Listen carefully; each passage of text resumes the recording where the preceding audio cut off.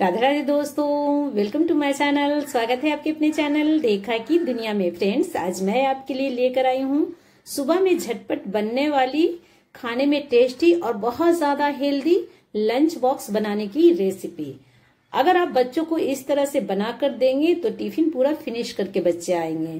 तो चलिए इस हेल्दी से रेसिपी को बनाना शुरू करते हैं. इसके लिए मैंने यहाँ पर लिया है इडली का बैटर इडली का बैटर किस तरह से बनाया है, इसका लिंक डिस्क्रिप्शन बॉक्स में दिया हुआ है, आप वहाँ पर जाकर चेक कर सकते हैं। अभी इसमें डाल देना है नमक यहाँ पे स्वाद के अनुसार। अभी दोनों चीज़ों को यहाँ पे मिक्स कर लीजिए।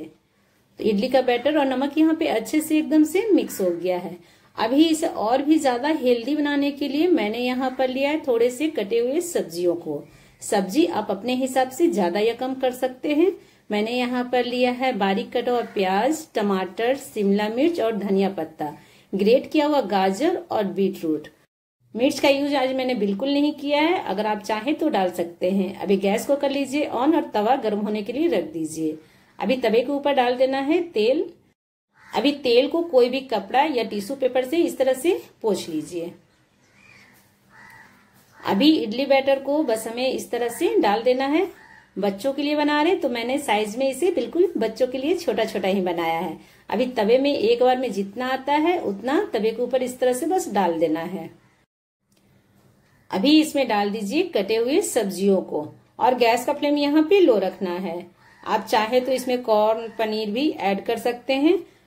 फ्रेंड्स अगर आज की रेसिपी आपको जरा सा भी अच्छा लगे तो दीजिए अपना ढेर सारा प्यार लाइक और शेयर करके। अगर आप मेरे चैनल पे नए हैं तो चैनल को सब्सक्राइब ज़रूर कर लीजिए। तो इसी तरह से सारे सब्जियों को हमें डाल देना है। और ऊपर से स्प्रिंकल कर दीजिए यहाँ पे चाट मसाला या फिर काला नमक।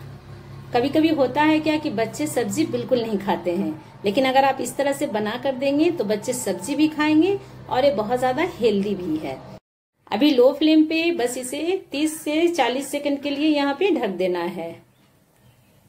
अभी ऊपर से डाल दीजिए इसमें तेल। तेल की जगह पे आप बटर का भी यूज़ कर सकते हैं। अभी पलटे की मदद से बस इसे पलट देना है। तो हल्का सा इस तरह से दबा भी देंगे।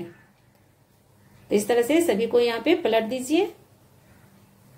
अभी दूसरे साइड से भी इसे अच्छे से सेक लेना है।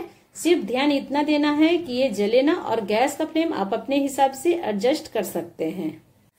अभी दूसरे साइड से इसे हमने यहाँ पे अच्छे से सेक लिया है। बस इस तरह से फिर से हमें पलटे से इसे पलट देना है और ये बनकर यहाँ पे बिल्कुल रेडी हो गया है। और ये बच्चों को बहुत ज़्यादा पसंद आता है क्योंकि ये छोटे छोटे बनाते हैं तो बच्चे बहुत खुश होकर इसे खाते हैं।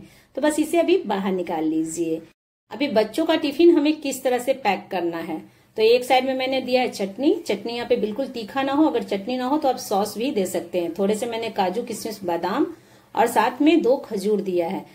आप चाहें तो यहाँ पे फ्रेश फ्रूट्स भी दे सकते हैं। और जब कभी भी आप पराठा पूरी देते हैं तो नीचे में इस तरह से पेपर ज़रूर बिछा दीजिए। नहीं तो होता क्या है कि नीचे वाला पार्ट है जो गीला हो जाता है, फिर बच्चे उसे खाना नहीं चाहते हैं। तो एलो जी, हमारा यहाँ पे बहुत ज़्यादा हेल्दी और खाने में बहुत ज़्यादा टेस्टी लंच बॉक्स रेसिपी बनकर बिल्कुल रेडी हो गया है। आप इसे क्या नाम देना चाहेंगे, मुझे कमेंट करके ज़रूर बताइए।